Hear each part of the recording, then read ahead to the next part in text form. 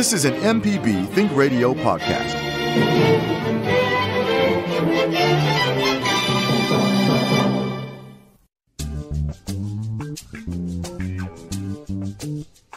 From MPB Think Radio, this is Now You're Talking. It's a show about the most interesting people and stories of Mississippi. I'm your host, Marshall Ramsey. I am editor at large and cartoonist with Mississippi Today.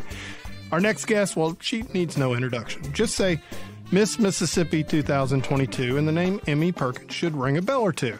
By using the healing power of music to make a change in the world around her, Emmie has successfully taken her Music is Medicine platform to new heights with her historic win as the first Mississippi to receive the competition's Social Impact Award this past December. A proud student at Mississippi State University and a native of Hattiesburg, she's here today to discuss her passion for educating children through music growing up in Mississippi, and of course, what the future holds for her as a musician, mentor, and motivator. So I'd like to welcome to the show Miss Mississippi 2022. Emmie Perkins. Emmie, um, by the way, it's so good to be able to talk to you. I had the honor of meeting you what was a little bit over a week ago, I guess, in Hattiesburg. Yeah, yeah, so it's good to talk to you again. Thank you so much for being on the show. Well, thank you for having me, and it's it's an extreme honor to be here today and to talk with you. One of my, I'm one of your biggest fans, so this is amazing for me. Well, I definitely, after hearing you sing, um, I am now one of your new fans. Of course, I was a fan Oh. before when you came in. I incredibly talented, and one of your former teachers, Tony Keeler, uh, reached out to me and said just that you were talented from the moment that he first met you, and and that you've been, I mean, just all throughout school and so forth. And one of the things that amazes me about you in the Miss Mississippi pageant and pageants in general is that you didn't ever really enter a pageant until you were in college, did you? Not at all. Pageants were definitely not in my vocabulary. And I honestly initially got involved because I knew that there was scholarship money involved and I knew that I could pay for my education that way without taking out student loans. And so here I stand three years later as Miss Mississippi. It was a total shock to me that I won Miss Mississippi, but then also with $30,000 in scholarships from the organization, which is such a testament in itself. Yeah, and add that on top of your academic scholarships. Your parents have big smiles on their faces. Oh, my dad literally cheered when he found out that's how much money I had earned. He was like, "We can all close our pocketbooks." I know when my son called me and said he got a 33 on the ACT, I just got down on the floor and wept. I got in the fetal position and cried. I was so happy. oh, yeah. it's every parent's dream, right? exactly, exactly. But but you know, it's it's so funny that you mentioned that because it, it's hard to believe this, but it, God, how many years it's been now? But when Conversations, the television show with Mississippi Public Broadcasting, I interviewed Hannah Roberts, uh, Robbie Robertson, who's 1966 Mississippi, Glenda Grubbs, who's from Hattiesburg also, 1972, Tara Foshi Ward from 2006, and uh, Lena Brinza, who from 1993. So I had that many Mississippians, uh, Miss Mississippis in the room together talking about their experience, and they were all like, "Yeah, that's how I got through college. Yeah, that's how I'm going through medical school." So it's it really is honestly just such a huge opportunity. It truly is, and it's something that I'm very thankful for. But then it's also, on top of that, a priceless opportunity to be a mentor, to be somebody who represents what it means to be a dreamer and to achieve your dreams. And that's seriously the heart of what I do as Miss Mississippi. It's kind of my mission statement. It's to make everybody feel like a somebody, but then also inspire them that no matter their circumstance, they can become anything they want to be. Yeah, definitely. And that's such an important message in Mississippi. And, you know, it's one of the things, and I've kind of done, you've done it in a very compressed amount of time. I mean, we're going to talk about that, your travels, because I think it's amazing all the places you've gotten to see and the people you've mm-hmm. met. But I mean, I've always believed that the, the kids in Mississippi are some of the most talented per capita in the United States, but sometimes they don't believe they can do great things. And that's what you're doing. And I love your platform. The music is medicine is, is such a fantastic uh, idea. How did you come up with that? Well, it's honestly astounding for me to hear somebody say, uh, you know, music is medicine is medicine is incredible because it started from absolutely nothing. It started with a spark of an idea that I had in college, my freshman year of college. But I kind of go beyond that. Let me start from the beginning of my life growing up. In the fourth grade, I discovered my love for the arts and music after trying to do every single hobby in the book growing up.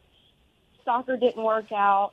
So many different things that I tried to do didn't work out. But when I opened my mouth to sing for the first time, I ran with that hobby and I ran with that passion as if it were a part of me. And so all growing up, I was immersed in the arts from that point on.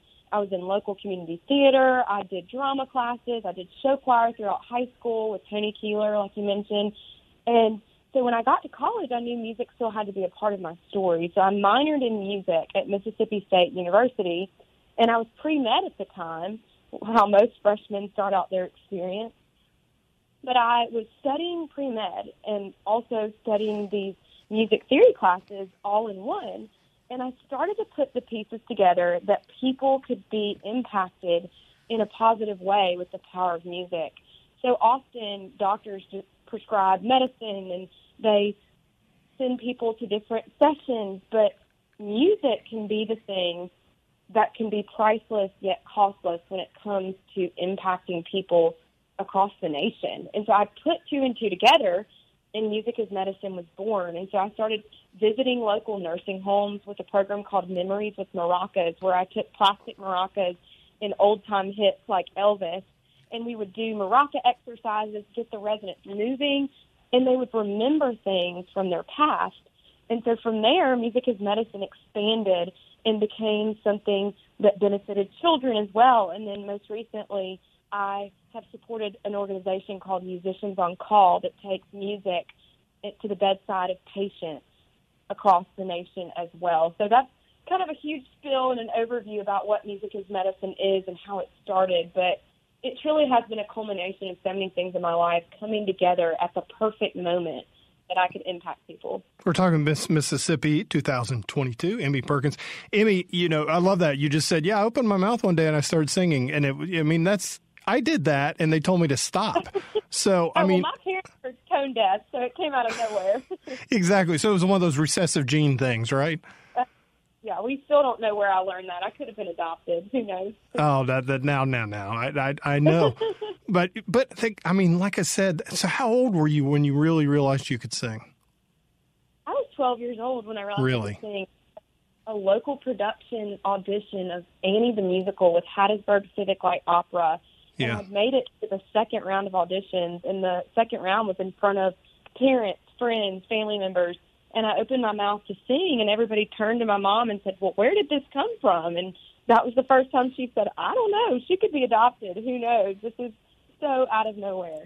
That's that's amazing. I mean, you really do. I mean, you've got a beautiful voice, and you sang your signature song in Hattiesburg when you were there, and you did a cappella. There was no music, and I was like, that was incredible. I mean, did, so you did that in front of a crowd there, but when you're standing on a stage in front of thousands of people or hundreds of people or however many people are in the room, do you ever just like totally get stage fright and nervous or at this point are you just a professional and it's not a not a huge issue? Well, it's kind of funny because I would rather sing on a stage with lights shining in my face where the people just look like little ants yeah. than sing in front of a room full of a hundred people. So I always get nervous and everybody always says getting nervous is the perfect reminder that you care about what you're doing. And so I usually use that nervous energy to channel into something even greater so that my performance ends up being something that impacts somebody. We t- well, I mean, obviously, your music is medicine, is impacting people, and and congratulations, by the way, you won the Miss America Social Impact Award. Um, that was huge. Oh, Number one, it was a nice scholarship, which is always handy. But two, I mean, what a huge honor! It was such an honor to win that scholarship. And honestly, looking back from the creation of Music as Medicine officially in 2019 to where I am today, I could have never imagined this to be a part of my life as much as it is. I couldn't even imagine the fact that I'm standing here as Miss Mississippi. Emmie in 2019 would have never guessed that all of this would be a part of her future. How do you handle obviously you're a student and college, being a college student is a full-time job in its own right but you're yes, also yes. very busy with what you're doing. How do you juggle the two? Are you putting college on pause or how, how does that work? So this year i've actually put college on hold and so my best friends are all at mississippi state university living out their senior year of college and i'm working full-time as miss mississippi which has honestly been a big challenge for me that i didn't expect out of the situation but like my mom and dad reminded me, how many young women can say they have the opportunity to be Miss Mississippi? But I think that also goes to show that being Miss Mississippi or being a public figure doesn't come without its hardships. It doesn't come without its adversities. And so being a college student and being kind of pulled away from that world and into a full time job that is very glamorous but also a lot of work was a huge adjustment for my life and I'm excited to return back to Mississippi State in the fall and finish my degree and then see what's next in my life. Yeah, I got to know a fellow um Hattiesburg Hattiesburger. Is that how you say that? Or Oh, yeah. Yeah. Perfect term. Yeah, I um Jane Jane Granberry. You know, she yeah. Love her. Yeah, she was um, Miss uh, Miss Hospitality, Mississippi Hospitality, and you know she just she's like this is the planner I use, and like every minute of her day was like boom, boom, boom, boom, boom, boom, boom, and that's kind of the way you've got to feel too. You're you're on the road, you're traveling, you're doing a lot of things, aren't you?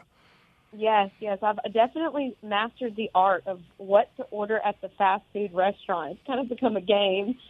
Every single time I pass a fast food restaurant in a Mississippi town and I'm hungry, I'm like, wonder what I'm going to get at this restaurant that I've never been to. Or, you know, McDonald's is a typical one you pass in Mississippi, so that's another place that I've learned to order at too. So it's, it's very funny. There are a lot of small things that you learn as you travel full time about the way that your life can change in just an instant and how you can adapt in those circumstances. What are some of the stories from the road and some of the places and some of the people that have really jumped out to you in the last? Oh. and you're halfway through your reign. It's hard to believe it's going by so quickly.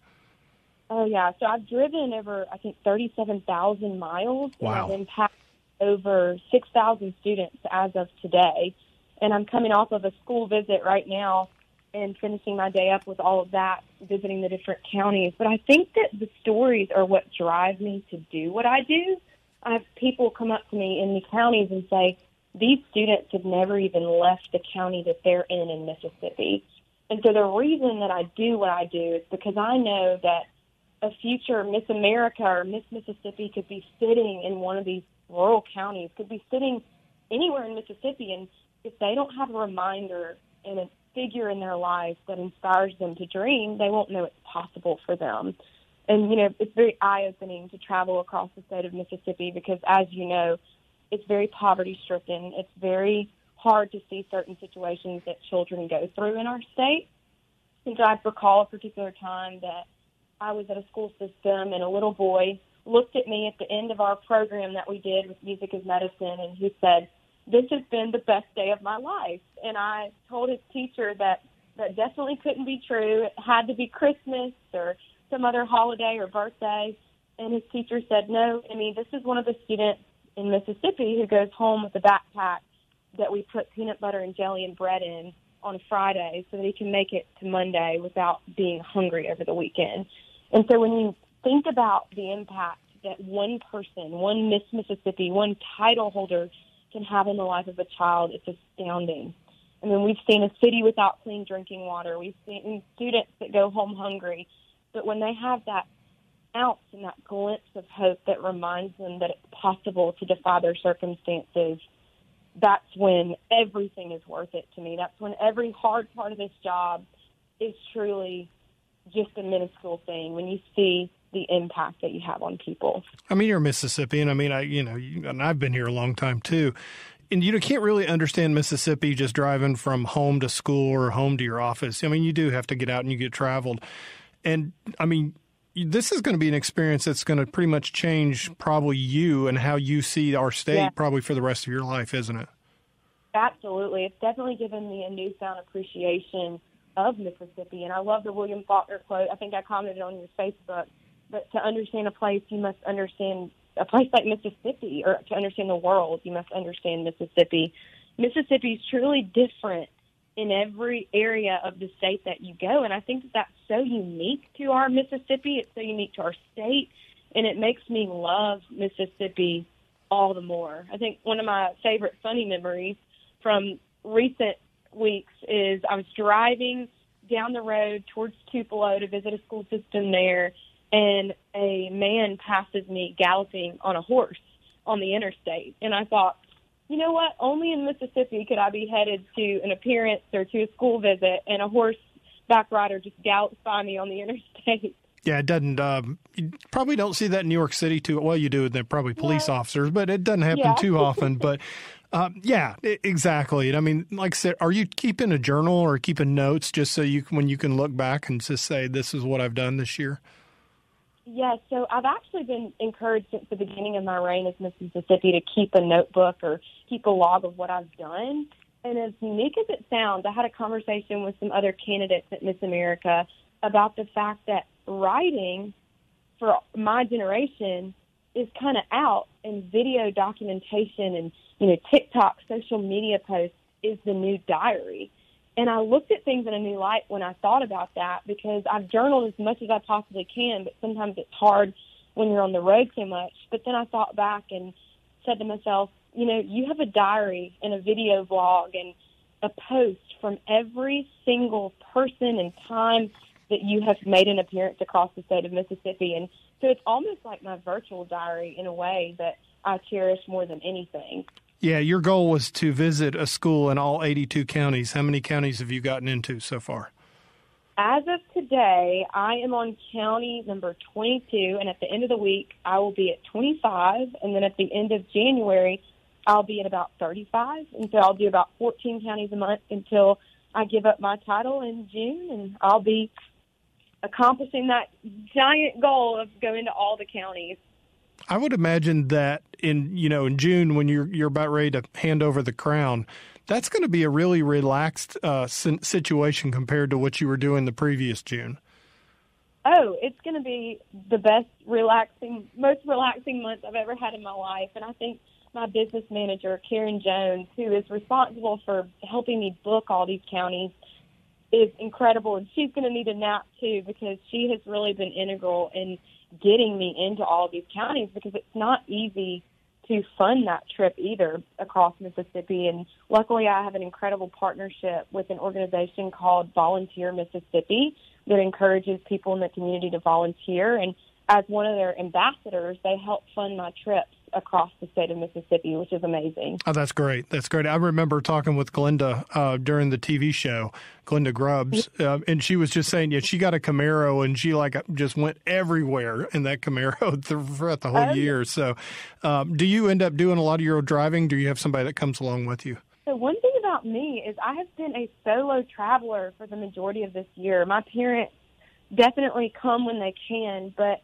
they've also encouraged me that this is a full time job, and yeah. it's part of the job of being Miss Mississippi is you know driving these many miles by yourself and getting the job done. Truly, you know, being motivated enough and independent enough to do it, and so that's been very life altering and life changing because it feels like my first real big girl job this year, and with all the hours that I've put on in the car and all the miles that I've driven, I've had to learn how to be okay with being by myself. So I've turned to a lot of music and podcasts and different, you know, tips to figure out how to make it from point A to point B without getting too bored.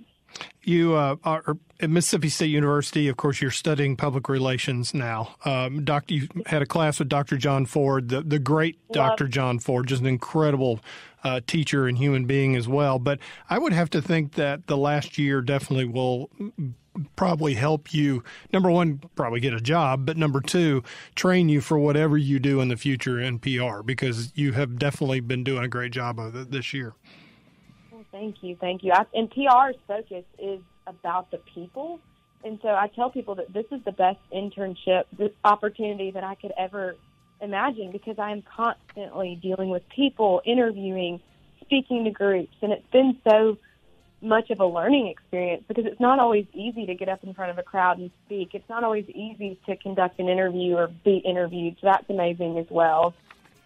We're going to take a quick break, but when we return, we're going to be back with Miss Mississippi 2022 Emmie Perkins. So stay tuned. This is Now You're Talking on MPB Think Radio.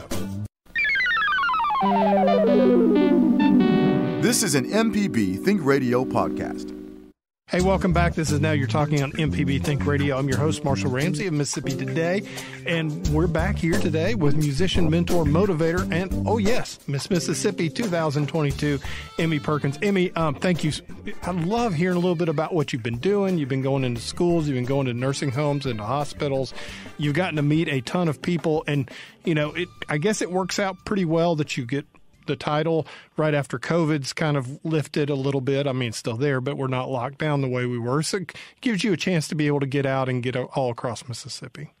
Absolutely, absolutely. I've loved being a full time worker because I know that it wasn't like that in the past because of COVID. And so I'm so thankful that I have the ability to go into schools and hospitals and nursing homes because that was not always the case.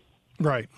Right. No, no. I mean, nursing homes for, for good reason were shut down. You know, I mean, the, yeah, the virus yeah. was obviously a big problem with that, but it's good that you're able to do that a little bit. Like you said, you, you had not really done pageants until you were in college. And now you, of course, you did. And then how did you end up? Of course, I guess you were um, Miss Mississippi State University. That was your title before you were Miss Mississippi. How did you fall into getting into that contest and being Miss Mississippi State University? It all goes back to the scholarships. I realized that if you were to win Miss Mississippi State University, you won a full tuition scholarship for a year to your university. And so, really, okay. Obviously, I raced to sign up for that. I have a long history of Mississippi State loving in my heart because my mom and dad both met at Mississippi State. My dad played under the legendary Ron Polk, so I definitely hold a special place in my heart for Mississippi State and all the things that it's done for my family. My dad kind of came from a poverty-stricken situation, and Mississippi was Mississippi State was his way out, and so for that, my whole family is thankful, and we're so thankful that it's a part of our story in so many ways. Yeah, how did it feel? To, I mean, was that the first real uh, contest that you'd ever won? Actually, I was Miss Hattiesburg. Okay. During the year before COVID, and then obviously it extended on to another year during COVID. And so it was incredible to represent the town that had shaped me into the person that I was. My dad's from Laurel, Mississippi, and my mom's from Starkville, and so we ended up kind of at the middle ground, Hattiesburg, Mississippi, and I have loved living in the hub city, and it's definitely a place of culture, art, musicians, artists, you name it. We have the history and the culture in our city that has made me into the Emmie Perkins I am today. And so it was an honor to represent that as well. Okay, so then you know by the time you got to Miss Mississippi State University, you were all hands, so it wasn't too nerve wracking, I suppose. But it had to be pretty cool to hear your name because you were thinking, well, cha-ching, I've I've got my mm-hmm. scholarship. But number two, you're representing the university that you love. But then it was on to Vicksburg, and then you, of course, competing against everybody else in the state of Mississippi. What was it like? Was there a degree of competition with the other other contestants, or did you develop some friendships? How how did that go? So this is actually it's cool you asked me this because as someone who's never claimed to be a pageant person, I never expected that being Miss Mississippi would be a dream of mine. And so this summer in Vicksburg, I'd prepared so much and I'd just taken a trip to study abroad in Europe. And so I had this weird sense of peace going into the competition because I had checked a lot of great items off my bucket list. I was going into my senior year of college and I just felt like I could conquer the world. And I felt like I had a sense of peace that only could come from God. And so taking on that week was amazing. And I had a mentor in my life tell me to imagine that I had already won Miss Mississippi going into the week and to see and think to myself, what would I treat people like if I knew what the outcome of this week would be? Wow. So I went through the entire week like that, and it gave me chills just thinking about the way that my attitude and my mind were geared towards you know the competition that week. But I met an incredible friend named Charity Lockridge. We've been friends for a couple of years now. She competed in Miss Mississippi with me my first time, and then again, you know, the second time that I went as Miss Mississippi State. And every night before we competed, we would go to the corner of the room and we would hold hands, kind of like a first runner up in a, you know, the two final people on stage waiting to be called stand in a pageant. And so we'd go over the corner and we'd pray and at the very on the very last night, she looked at me and she said, "This is going to be you and I on stage. We're going to be holding hands just like we've prayed every single night." And so we get to the final night, and sure enough, we are holding each other's hands on stage, waiting to see who becomes Miss Mississippi. And I had this incredible sense of peace wash over me then too, because I knew that whether it was me or whether it was her, that the state would be in great hands. And so we had a really special bonding moment that was out of body and so extraordinary, honestly. That's really cool. Uh, it really is. So when you did hear your name, um, I, I, can't even imagine how that feels. Uh, that Oh just gosh. had to be pretty It's a amazing. moment- It's a moment I wish I could live and do over and over again. And I compare it to me being in the fifth grade and playing Peter Pan in the musical Peter Pan and getting to fly on cables.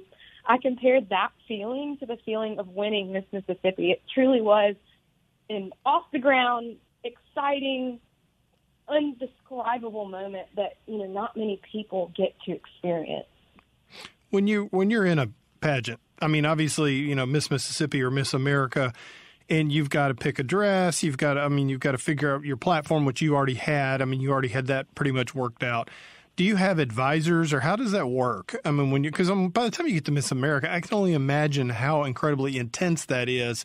And i mean that's that's that's serious business at that point Oh, you have a whole team of people that help you get to the point of where you are. And, you know, I've had some incredible mentors, directors, and friends in my life that have helped make me into the person I am that was ready for the job of Miss Mississippi. And even after I've won, I've remembered those circle of people that have been there for me before they ever suspected that I'd become Miss Mississippi because they truly are my team and my people that made me the person that I am and helped me continue to be successful even on the days when being Miss Mississippi isn't easy.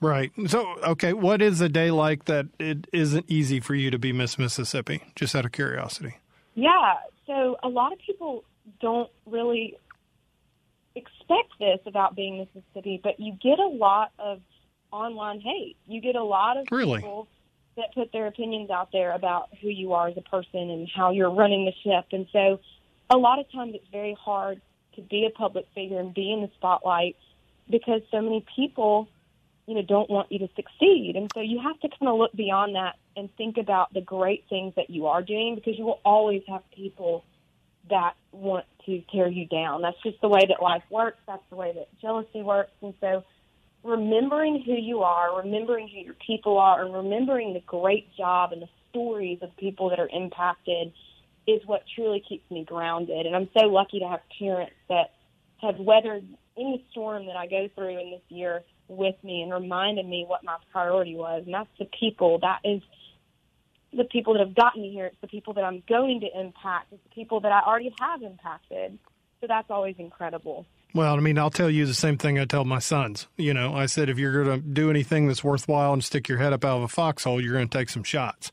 And and, and yeah, and and I mean, you know, I mean, like I said, I think you know, you got always got to figure what's going on in their life, and that's how they get their dopamine or whatever. And you just, I mean, I don't even read the comments under my cartoons, so I, I completely understand, you know, what you're talking about. That, but I, like I said, I can't imagine hating on a Miss Mississippi, but that's, you know, the world's kind of weird right now.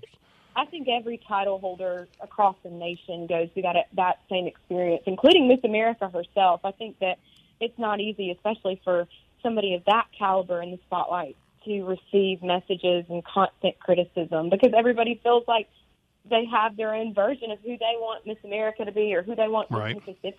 to be. But you know, the people that are positive about me being Miss Mississippi far outnumber those that have criticism and and try to defeat someone. They, they, I have a great team of people that are so supportive, that cheer me on, that love to watch me succeed, and I couldn't be more grateful for that. Well, I mean, like I said, you you've already managed to visit about half the counties in the state, and you're you're out there making a difference with your platform, which is a great platform. Like I said, um, you know, sometimes you can kind of like go, oh, that's that's kind of a lame platform, but this is not a lame platform. It's it's really good, and hearing you talk about it with passion in front of the business leaders of Hattiesburg was really cool, and, and you did a great job on that. And at the end of the day, like I said, I think you know your why, and you know the question is when you do graduate. Um, where do you expect to be? Where do you, where do you see yourself in five years? That is a million dollar question. Oh, so you want a million dollars in five years? I don't blame you. I don't. You know, I'd like it too. It'd be great. I love it. Well, you know, there there's a lot of things in life that you can make plans for. And when I became Miss Mississippi, I realized that I could make a plan to be a doctor or a lawyer and five years from now that could totally be flipped upside down. So I'm kind of at a point in my life where I'm excited to see what happens. My dream job would be say backup singer or to be the CEO of Music is Medicine as a franchise and an operated corporation that takes music therapy across the country.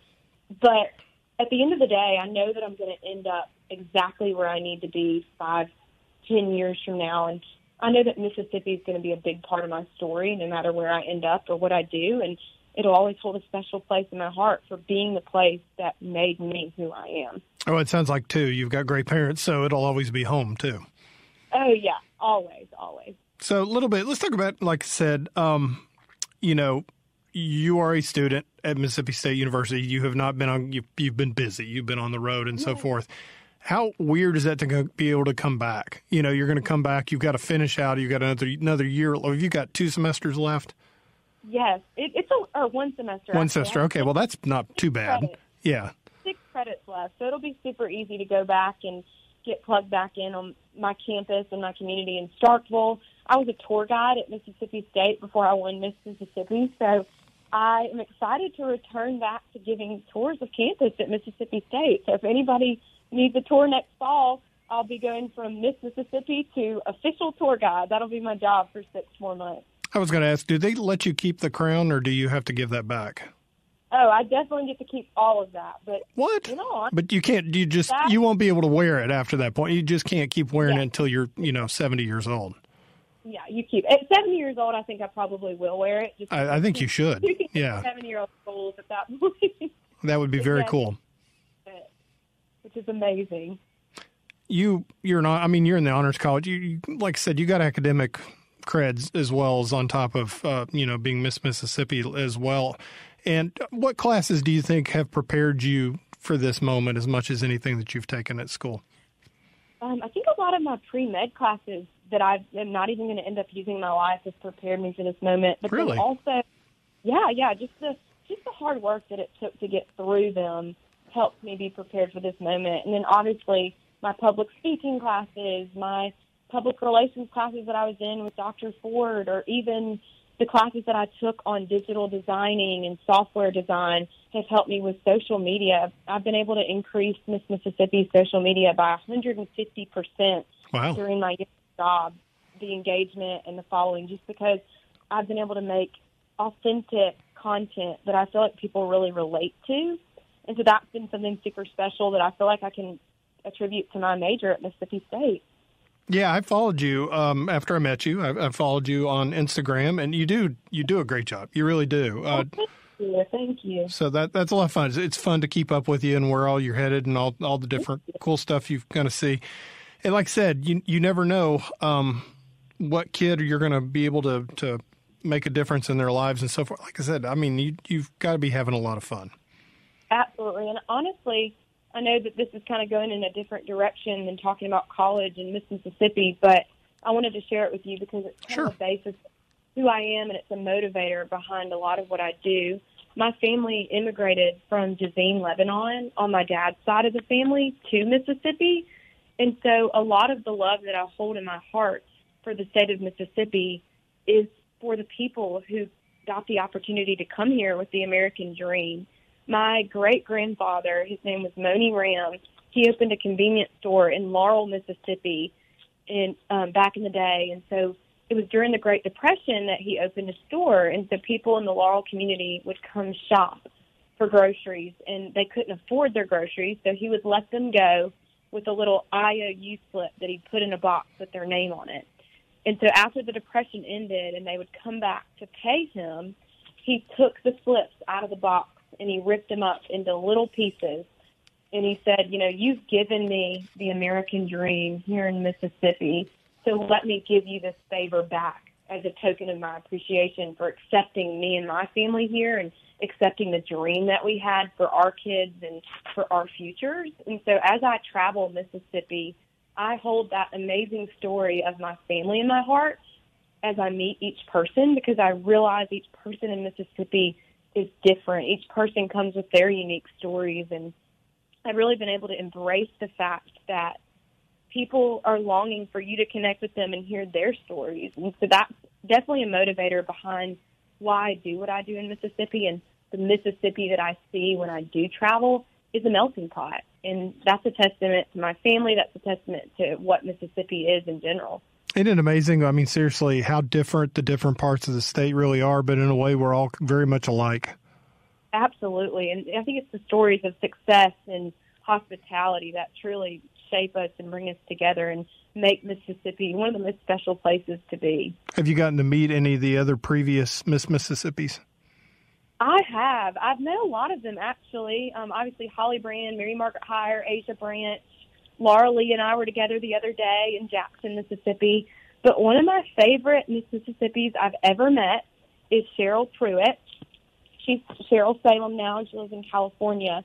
She won Miss America back in her day, but I actually got to interview her on a series that I created called Mississippi Made, and it's where I interview notable Mississippians and you know note on the fact that they've changed the world through some of their actions and the things they've done in our great state.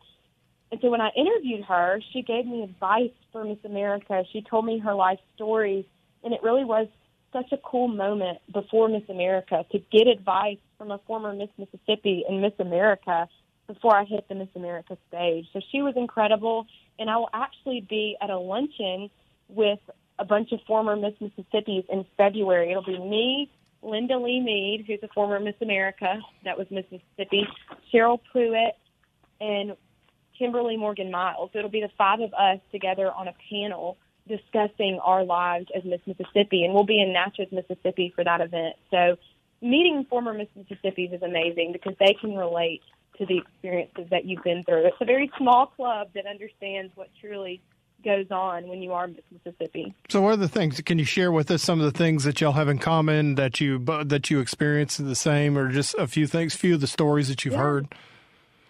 So, Cheryl Prewitt actually told me that her best piece of advice for me, Miss America Week, was while everybody else was staying up and trying to talk a lot and you know be out and about at Miss America. So the most important thing you can do is sleep. So every single night before I fell asleep, I would remember Cheryl's words of, you know, it's, it's a game of stamina. It's a game of making sure you're well rested enough to make it to the end of the week.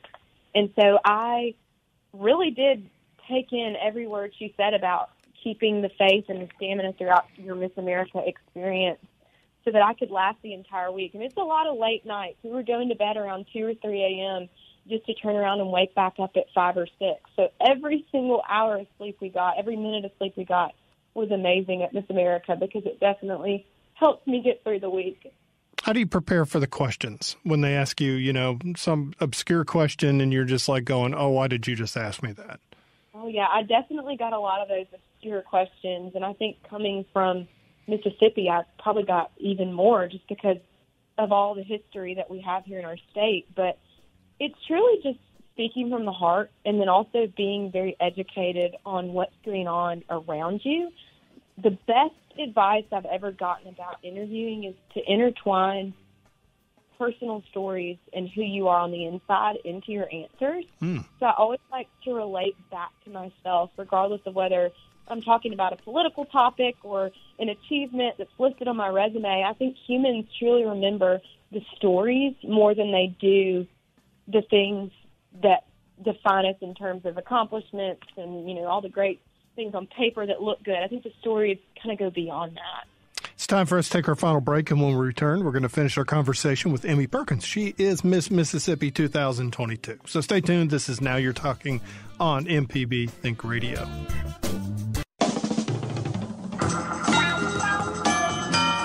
This is an MPB Think Radio podcast.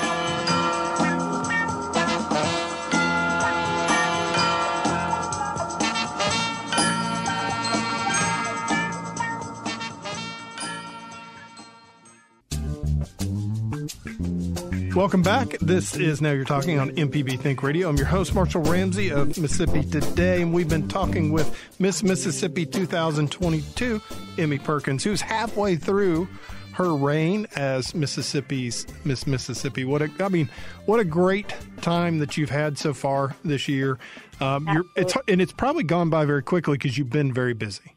Oh, it's gone by in the blink of an eye. I think I've traveled to nine different states and you know 37,000 miles, like I said before. Over 6,000 students, over 160 appearances in the first six months on the job, and the I think the record my business manager told me is about 180 for the year. So Wow. I'm very very busy this year, but it's been the ride of a lifetime, and it's forever changed me as a person. So I take it. I mean, it's literally what you put into it. I mean, you could. Uh, obviously, they have a set amount of things they want you to do, Yeah. but it sounds like you're like saying, "Okay, no, we're going to put. Is I'm going to put more into this. I'm because it sounds like you would really want to get the most out of the experience." It's a thousand percent kind of driven by the girl that's being that is Miss Mississippi that year. I think the greatest thing about the change that the Miss America organization has made when it comes to its priorities is the ambition it's inspired women to have as they take on their state titles or you know the national title as Miss America.